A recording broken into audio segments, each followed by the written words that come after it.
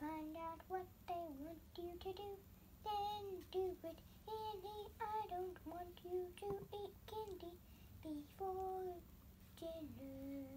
Oh no, scratch. Choco bits.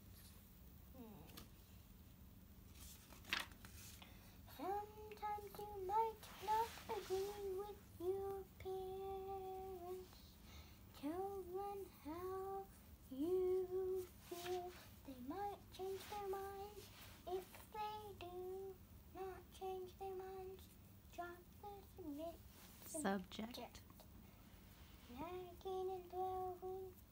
Tantrums. tantrums will only frustrate you and make your parents angry.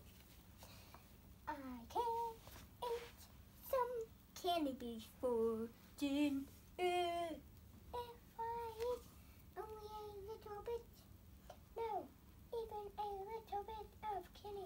Take away your appetite for dinner.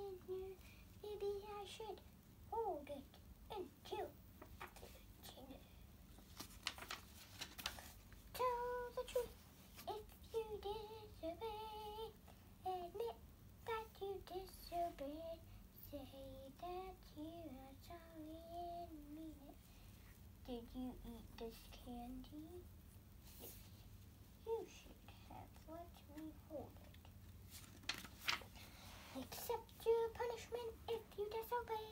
Do not be angry your parents when they punish you. Remember it was you who disobeyed. Not then. Try not to disobey again. Since you disobeyed, you will not be allowed to eat the rest